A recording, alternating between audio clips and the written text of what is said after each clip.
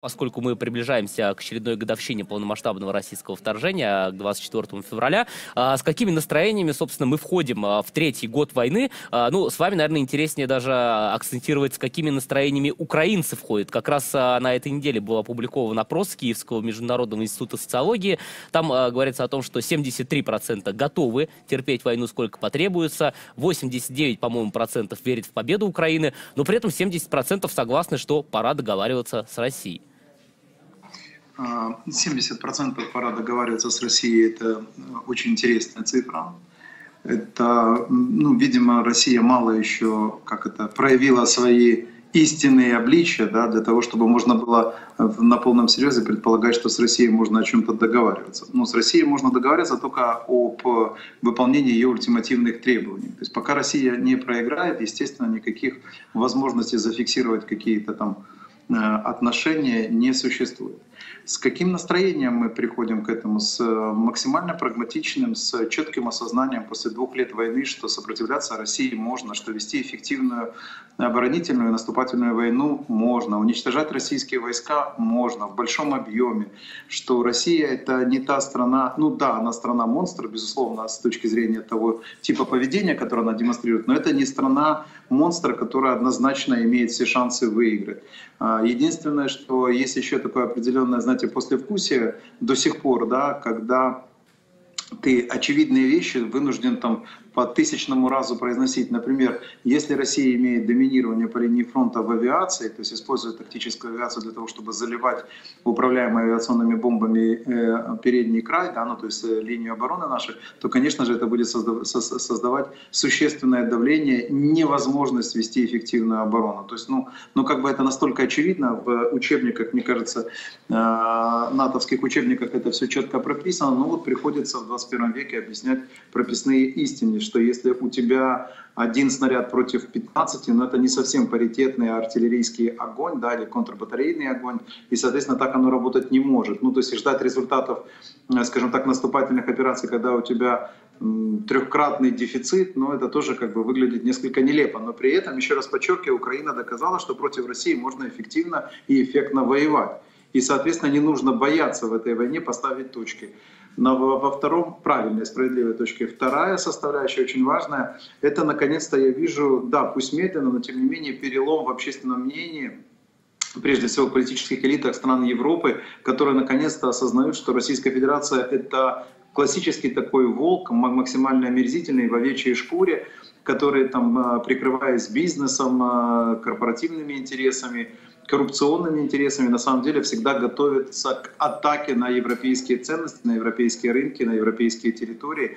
И, соответственно, мне нравится, что сегодня мало кто оценивает Россию как э, страну с партнерским потенциалом, да, с которой можно о чем-то договориться, и она будет скрупулезно этого придерживаться. Третья составляющая, ну, очевидно, Очевидно, это еще не обсуждается так объемно а, с точки зрения логистических возможностей, как это исправить, но тем не менее есть абсолютное понимание, что международные институты недееспособны, не существует никакого международного права по умолчанию, что за него нужно точно так же драться, потому что если вот Россия не хочет подчиняться тем или иным правилам, конвенциям и так далее, она это не делает и, соответственно, даже демонстративно расстреливает военнопленных да, на поле боя.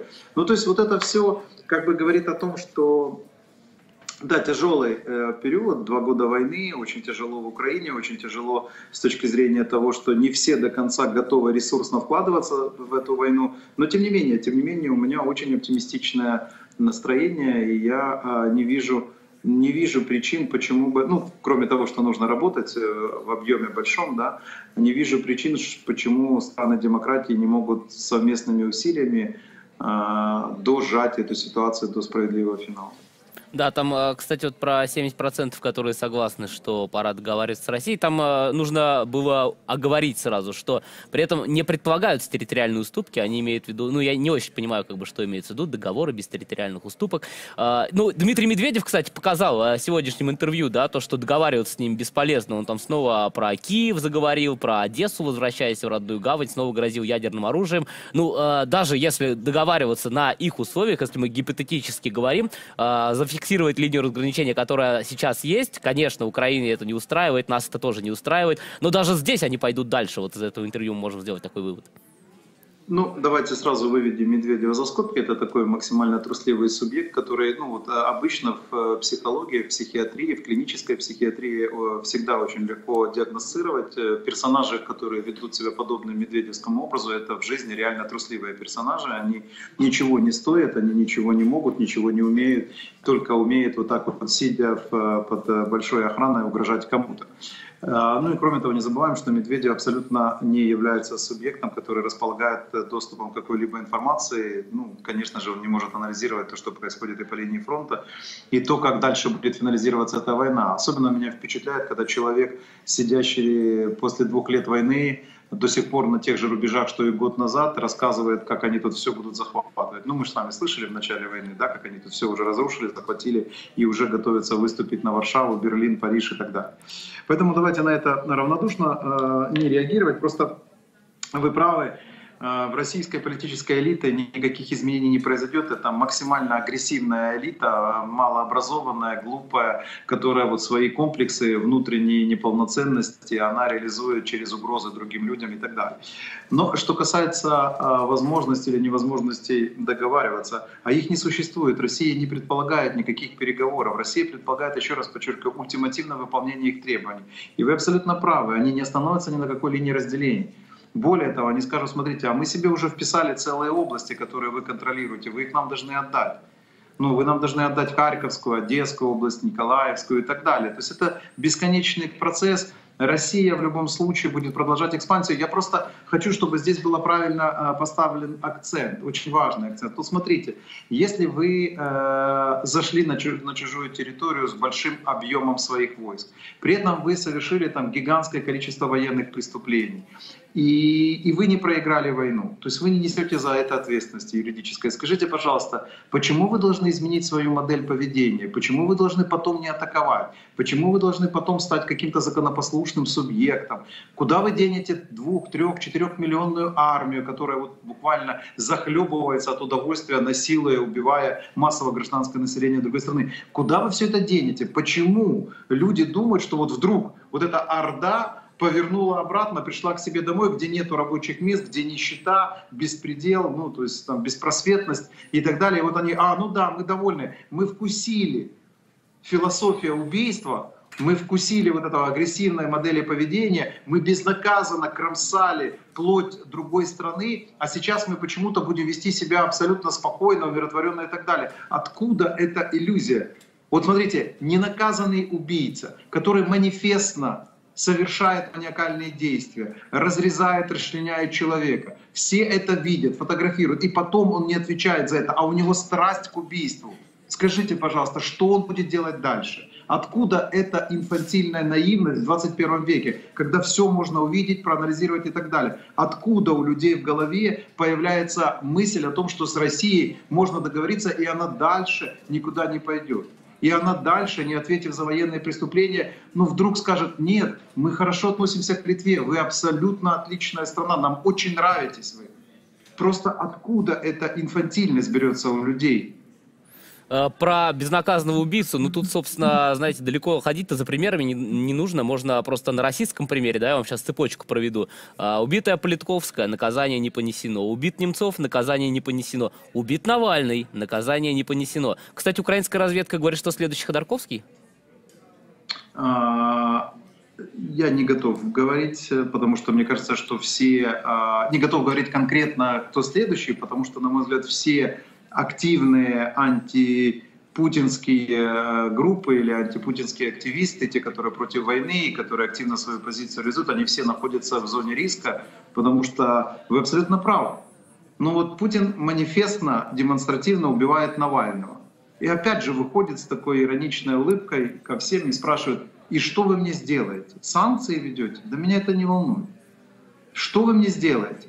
Вы будете вводить так санкции, что ваши, что ваши компании европейские продолжат эффективно работать на моем потребительском рынке. Я буду с барского плеча определять, какой налог милитарный они будут мне платить, чтобы я мог за эти деньги, за деньги этих компаний, работающих у меня здесь, в авторитарной системе, покупать оружие у вас же комплектующие, которые будут идти в Искандеры, которыми я буду убивать Харьков. Вот и все. Вот что он делает. То есть где вы здесь видите осознание всего того, что Путин сегодня из себя представляет и Россия представляет. И, соответственно, конечно же, мало того, нет ответственности за те преступления, которые россияне совершали на территории европейских стран. Не забываем. Ну, помним Литвиненко, допустим. И где сегодня находятся авторы его убийства. И так далее, и тому подобное. То есть все это настолько впечатляет сегодня. И тут главный вопрос у меня возникает. Вот если э, международное право фикция, если никто не гарантирует, что можно жить по определенным правилам, если никто не гарантирует, что совершение большого количества преступлений достаточный повод для изоляции от цивилизации, какое будущее у нас будет у детей, у всех остальных и так далее? Ну, то есть, почему люди уверены, что если все это так дальше продолжать, вот если была не наказана, э, скажем, война э, против Грузии, если была не наказана война против Украины, если можно было походя выйти и сказать, ну, забрала Россия, э, аннексировала полуостров Крым, ну, ничего не поделаешь, международное право все равно, все нормально, мы живем и так далее. Почему война, которая не будет наказана в Украине, которая полномасштабное вторжение имеется в виду, да, 22 года, почему это не должно спровоцировать еще большую войну, еще более масштабные агрессивные действия со стороны не только России? Вот скажите, Северная Корея, которая осознает, что, смотрите, какие-то резолюции, а мы производим ракеты, опять же, где есть американские, 75% американского компонента. А если все это можно, почему Северная Корея, которая вообще заточена только на военное воспроизводство, только на угрозу, почему она вдруг должна не захотеть на кого-то напасть? Вот что должно их остановить?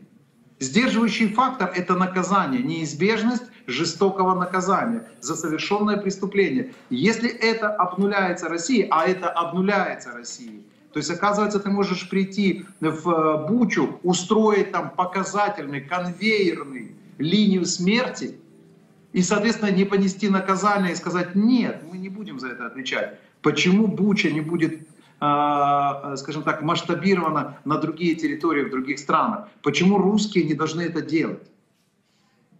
А, Михаил, но получается, я правильно понял, что вы а, скептически относитесь к тому, что после убийства Навального какие-то последствия как внутри России, так и международные, международная реакция наступит? А, скептически отношусь, потому что я об этом уже у вас в эфире говорил. Я считаю, что когда диктатура окончательно сбрасывает все маски, ну, все эти псевдодекорируемые демократические э, украшения и четко говорит «я кровожадна», есть два инструмента свержения, потому что диктатура ведет войну на внешнем рынке.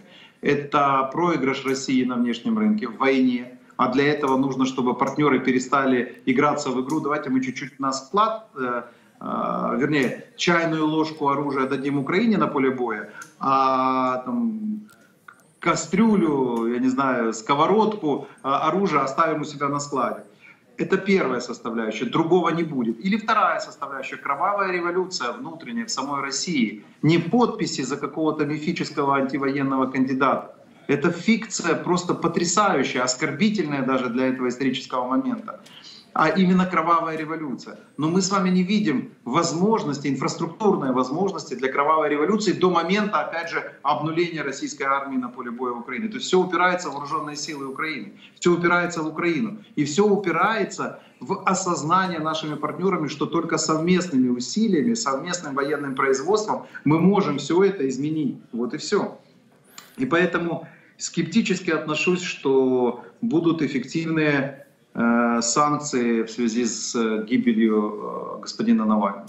Скептически отношусь, что Россия сможет предложить какую-то внятную альтернативную концепцию обновления политического процесса.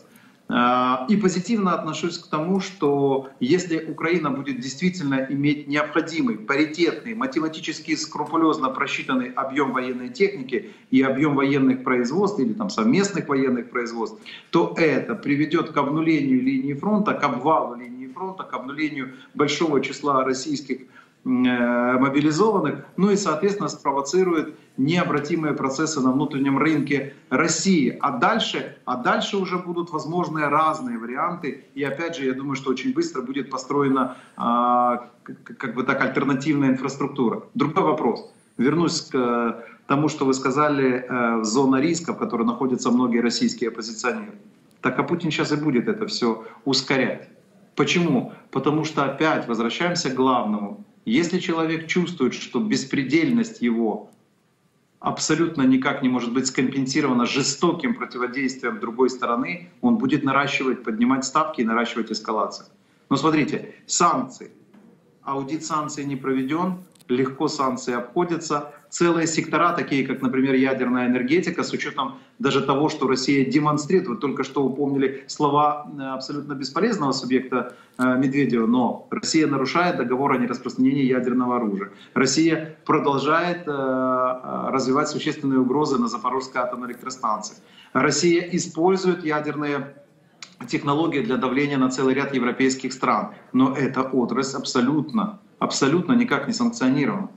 Дальше, танкерный флот. Даже не то, что теневая составляющая не убрана, да, то есть объемное количество э, танкеров, они спокойно перевозят сырую российскую нефть, так и белые танкеры, которые, собственно, в четкой юрисдикции, в четких контрактах с российскими нефтяными компаниями продолжают работать. Половина, компа... половина танкеров заблокирована, половина работает. 20 из 52 работает. Это, это фантастически выглядит. Дальше. Те же компании, о которых я сказал, они даже бравируют, европейские компании с юрисдикцией э, в европейских странах, они бравируют тем, что у них в 2023 году возросло доходная часть на рынке Российской Федерации. То есть они зарабатывают больше, они улыбаются, они счастливы, они просто млеют от того, что они будут иметь 15% рост доходов из-за российского рынка, который является изоляционистским и так далее. Конечно, когда вся эта двойственность сохраняется, тогда нет ответа на ключевой вопрос, о котором президент Зеленский говорил на Мюнхенской конференции. Не надо задавать вопросы Украине, не надо проводить социологию. Нужно ответить на один вопрос. А как так получается, что после двух лет максимально жестокой, кровавой войны, которую ведет Путин в Украине, после двух лет обнуления демонстративного, хихикающего обнуления международного права, у него все еще есть большое количество ресурсов для продолжения этой войны. Как эти ресурсы оказываются в России? Кто дает ему эти ресурсы? Да, я, мы перейдем еще и к санкциям, и к международной тематике, но я бы еще пару моментов а, в связи с убийством Навального хотел с вами обсудить. А, такой один уточняющий момент. А, с Юрией Навальной офис президента Украины тоже не намерен сотрудничать. А, я не готов сказать за весь офис президента с точки зрения, кто готов, кто не готов, какие вести консультации. Мы ведем консультации по разным направлениям. Если в этом есть польза для Украины, для ситуации внутри Украины, для ситуации с точки зрения обеспечения Украины и так далее, я просто не вижу а, здесь какого-то внятного, понятного направления, по которому может идти эта группа, в данном случае госпожа Навальная. А, я не вижу пока никаких конструктивно предложенных вещей, кроме одного, кроме неплохого заявления о том, что необходимо не признавать легитимность Путина. Для меня это тоже очень загадочно. Мы после двух лет войны, после там, его пятого срока, да, мы продолжаем делать вид, он же на демократических выборах побеждает. В э, России есть конкурентная политика, свобода слова есть, есть альтернативные политические партии, альтернативные политические группы. Ну, особенно на фоне убийства основного альтернативного кандидата Навального, конечно, это выглядит нелепо. На мой взгляд, это один из правильных маршрутов, по которому, если он будет, а, скажем так, до, дожат этот маршрут, да, в том числе российской оппозиции. А это, на мой взгляд, это правильный маршрут. То есть, грубо говоря, нелегитимность Путина порождает нелегитимность всех государственных институтов России. И, соответственно, например, субъект Лавров не может приезжать в Скопье, в Северную Македонию на э, саммит ОБСЕ, организация, которая занимается безопасностью Европы, и э, промоутировать свое право на максимально жестокое убийство граждан Украины. Ну, то есть тогда, получается, у тебя нелегитимны все институты, и, соответственно, тогда мы из повестки убираем вопрос, надо ли приглашать куда-то Россию, должна ли она находиться в Совете Безопасности ООН, надо ли вести споры о том, могут ли спортсмены России под нейтральными флагами участвовать в том или иной спортивном мероприятии или нет, надо ли подписывать контракт с большим российским театром для того, чтобы он имел постановки там в Ласкале и так далее и тому подобное. Тогда много вопросов, они становятся никчемными. Почему? Потому что юридически невозможно стороны. Потому что что отсутствует легитимная составляющая российской власти как таковой. Вот в этом направлении, если они будут двигаться, да. Но я сомневаюсь. Смотрите, я просто физически сомневаюсь, что российская оппозиция сейчас может переосмыслить, та, которая находится в диссидентстве, та, которая уехала из страны, что она может переосмыслить то, как нужно вести борьбу против Путина, мне кажется, они обратно увлекутся. А давайте на шариках напишем «нет Путину». На, главное написать на правильном цвете. Надо продискутировать, какой цвет должен быть у шарика. Да? И выпустим их в 12 часов дня на площадях, выпустим их в воздух. Да? Ну, чтобы они полетели, на них будет написано на расстоянии полутора километров э, от земли. Будет очень хорошо видно, что на них написано «нет Путину». И это, конечно же, приведет к обрушению путинского режима. Это сарказм, кстати, а то могут да, не да. все понять. Да, я понял. Ну, пока предлагают бюллетенях писать Навальный в день голосования. Ну, это из той же серии, насколько я понимаю. Но э, зато, зато, знаете, я прям вот прочитал, можно сказать, э, сценарий э, остросюжетного фильма от русского добровольческого корпуса, который поделился информацией на этой неделе о том, что они готовили операцию «Декабрь», операцию по силовому освобождению Алексея Навального на территории России в момент его этапирования с Владимирской области в Ямало-Ненецкую. А, там по этому сценарию, соответственно, руководители группы партизан внутри России должны были напасть на конвой, отбить Навального, вот этот небольшой люфт времени, а, привести его к приграничную с Украиной территорию, там его должны были встретить РДК и вывести в Украину. И в подтверждение, соответственно, соответственно, ряд э, документов РДК выложили о том, что у них были данные, в том числе прослушка разговоров Навального с окамерниками.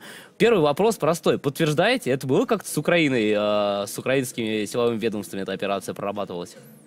Я не могу подтверждать, не подтверждать. Это граждане Российской Федерации, да, они там находятся в том числе на территории Украины, они имеют право делать все, что считают нужным на территории своей страны без согласования с нами, безусловно. Тут вопрос другой, я не совсем понимаю, зачем об этом говорить, потому что факта как такового нету. Но в данном случае мы имеем э, смерть э, Навального, то есть реализация сценария отсутствует. И, честно говоря, рассказывать по факту о несостоявшихся сценарных возможностях, ну, для меня это выглядит очень странно. То есть если было реализовано, это одна история, а если это не реализовано, вы по факту потом рассказываете, мы хотели что-то сделать. Ну, еще раз подчеркиваю, у нас есть поле боя сегодня, можно реализовать любую задачу. И мне кажется, кстати, и Легион Свобода России, и РДК продемонстрировали, что они достаточно эффективно могут на поле боя реализовывать те или иные фундаментальные задачи. Вот мне кажется, это важно и обсуждать в том числе. Но опять же, граждане э, Российской Федерации имеют право планировать и проводить любые э, операции на территории Российской Федерации. Ну, это их абсолютно законное право.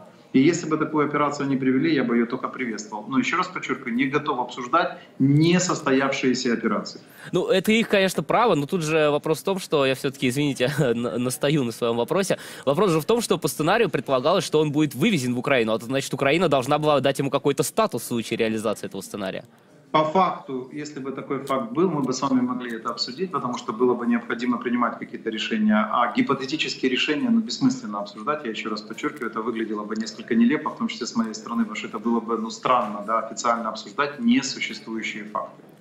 Да, здесь а, в чате возвращают нас а, к, вопро- к теме российской оппозиции и спрашивают у вас, а, не надоело ли вам ходить к так называемой российской оппозиции? Ну, я так име- понимаю, что имеется в виду в стримы, в YouTube-стримы к российским журналистам и российским оппозиционерам. Моя задача, знаете, я, честно говоря, категории надоело мне или не надоело, тем более, что я всегда публично свою позицию очень жестко высказываю, она радикально антироссийская, на мой взгляд, в этом сомнения ни у кого нету.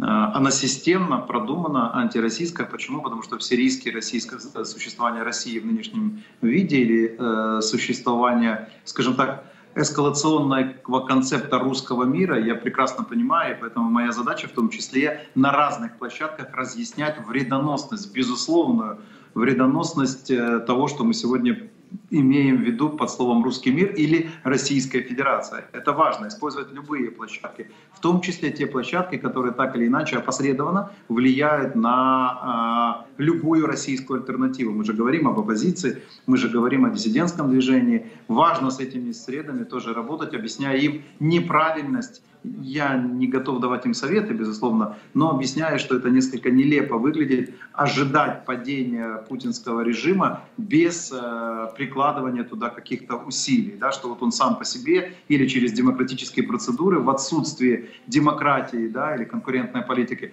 вот он вдруг ни, ни с того ни с сего схлопнется. Моя задача объяснить, что сегодня а, надежды российской оппозиции, оппозиции нужно увязывать исключительно с усилиями вооруженных сил Украины. Вот будет эффективное действие. А для этого нужно, чтобы российская оппозиция активно промоутировала среди тех же европейских стран необходимость максимально насыщенной поддержки вооруженных сил Украины. Вот объяснять такие, я прошу прощения, прописные истины нужно на разных площадках. Знаете, а, ну, я же в коммуникационной сфере работаю, да, то есть можно, конечно, пойти по пути обиды на весь мир, замкнуться и ни с кем не разговаривать, считая, что по умолчанию все и так понятно. Но, к сожалению, современный информационный мир, мир по умолчанию непонятен. Видите, мы уже какой раз повторяем вещи, которые настолько очевидны, что казалось бы, ну зачем? Но тем не менее, раз за разом приходится повторять, с Путиным договориться нельзя, а никакие переговоры России не предлагают.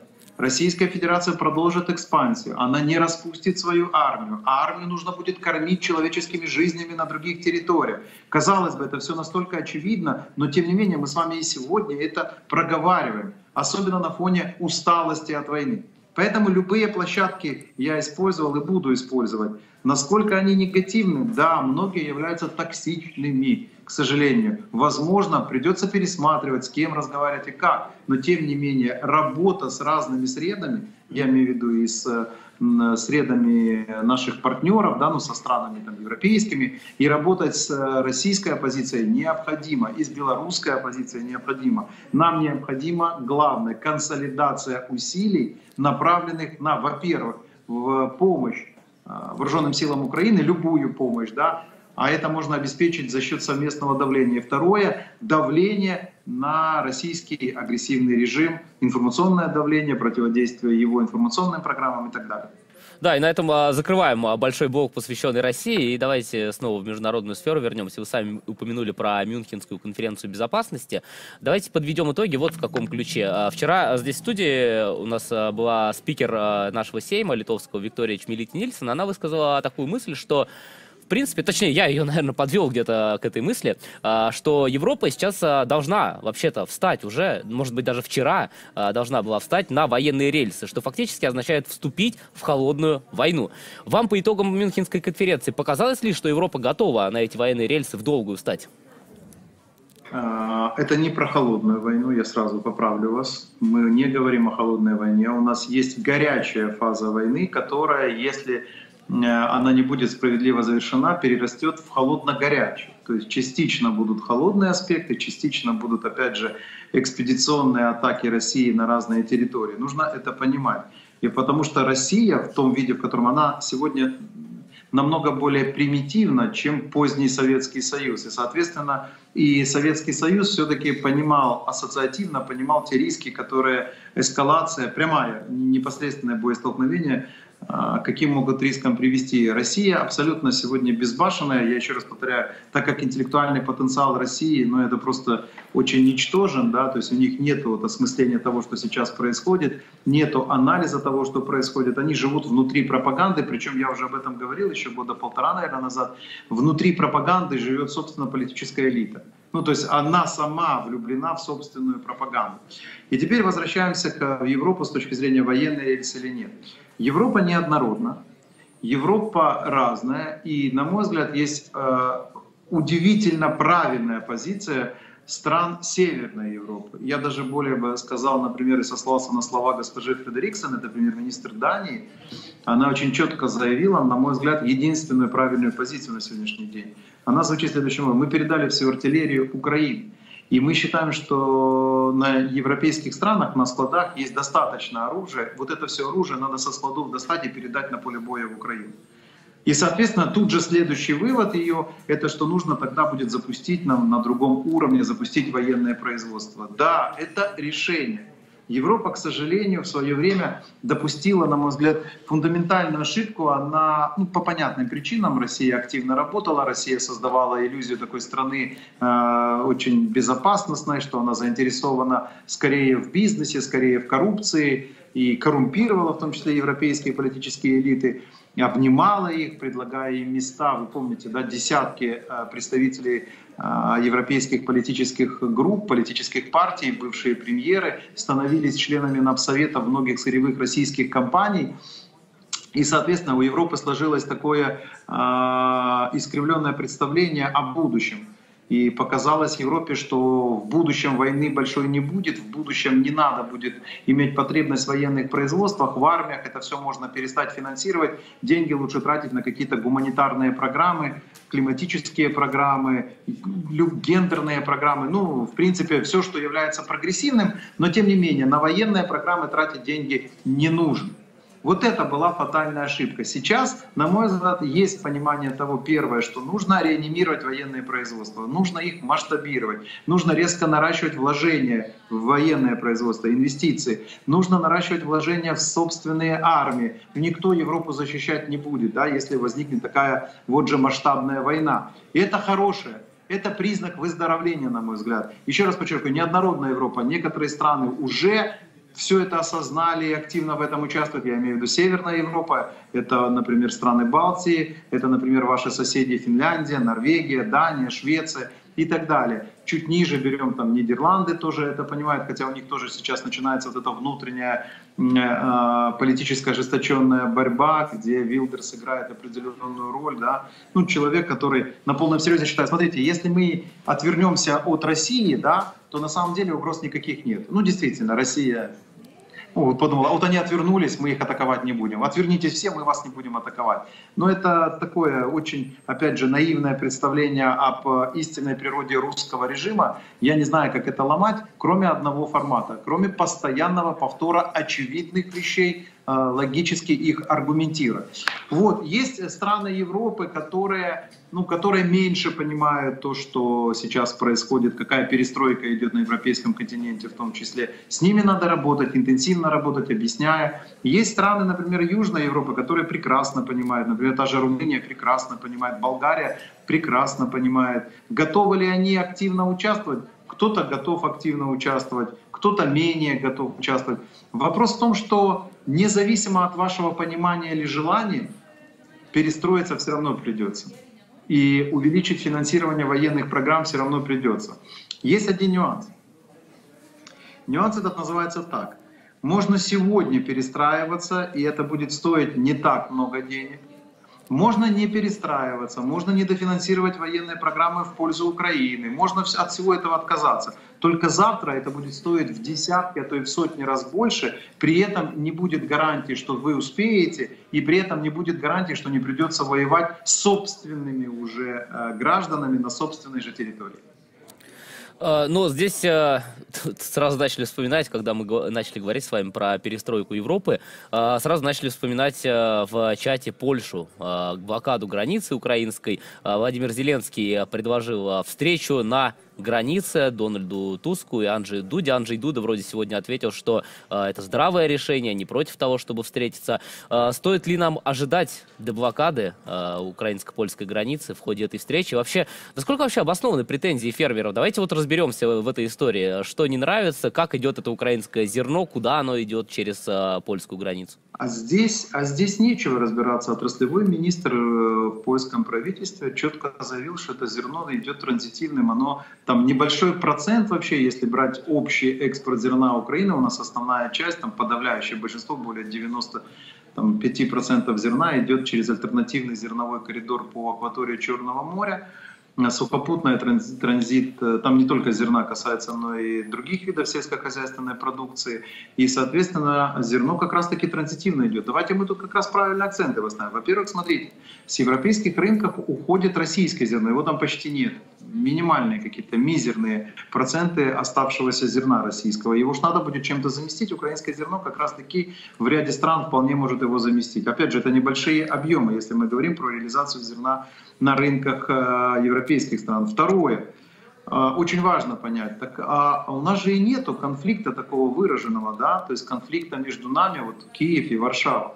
Нет, вот эти все протесты, они ведь идут не только на границе Польша-Украина, они идут по всей Польше, в том числе и граница Польша-Чехия, ну, условная, понятно, граница и так далее. Они идут в Германии протесты, во Франции масштабные, просто дикие протесты и так далее. Это ведь война не конкретных национальных правительств между собой или там протекционистских групп в правительствах между собой. Нет, это попытка национальных э, общин, ну имеется в данном случае фермерской, давить на Европейскую комиссию, которая должна отказаться от тех изменений в правилах регулирования сельскохозяйственного, общего сельскохозяйственного рынка, на который она идет, связанного с так называемым зеленым переходом. Это другие объемы дотаций, это другие регламентации, это другое квотирование и так далее. Вот они хотят, чтобы а, это другая стоимость топлива, ну и так далее и тому подобное, акцизы, субсидии, ну все, что в этом рынке есть, вот все это пересматривает Европейская комиссия. И поэтому это конфликт, например, Варшавы и Брюсселя. Ну или не конфликт, а дискуссия Варшавы и Брюсселя, как и любой другой столицы, но точно не Киева, и э, Варшавы. И поэтому президент Украины абсолютно конкретно говорит, смотрите, мы понимаем, почему вы это делаете. Вы используете крайне острую ситуацию, которая прикована информационное внимание, война в Украине, и вы выходите на границу с Украиной, понимая, я имею в виду фермеры польские, понимая, что на это обратят больше внимания. То есть вы пользуетесь нашим тяжелейшим положением, война ж никуда не делась, и пытаетесь на этом решить свои проблемы. Вы имеете право их решать. Президент Украины об этом говорит. Вы имеете право, пожалуйста, но только не за счет истекающей кровью Украины. Это же очевидно. И поэтому президент предлагает, смотрите, мы понимаем природу этого конфликта вашего, мы понимаем, что здесь частично упоминается Украина. Для нас важно следующее. Давайте создадим эффективный инструмент для решения подобной проблемы. Это трехсторонняя группа, да, где есть представители правительства Польши, Украины и Еврокомиссии обсудим все, что накопилось. Второе, давайте разблокируем границы, потому что для нас крайне важны военные поставки, гуманитарные поставки, ну все, что нам необходимо в рамках